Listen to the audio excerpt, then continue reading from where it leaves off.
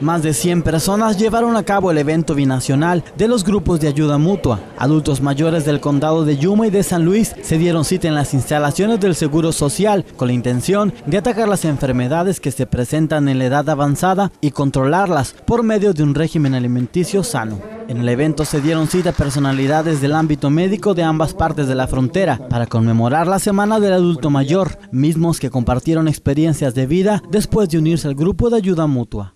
La presión ahorita la tengo en 130, 60, 130, 70 y ahí no subo.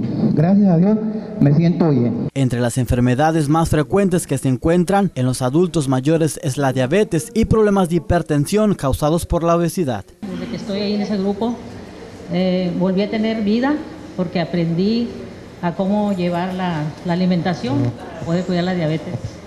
Ya tengo pues nueve años o diez años, yo creo, ¿verdad? Los adultos mayores recibieron pláticas por la psicóloga Melissa Ordaz, además de interactuar con juegos y presentaciones recreativas a fin de estrechar lazos binacionales de salud entre México y los latinos de Estados Unidos. Luis Carlos Bravo, Mega Noticias.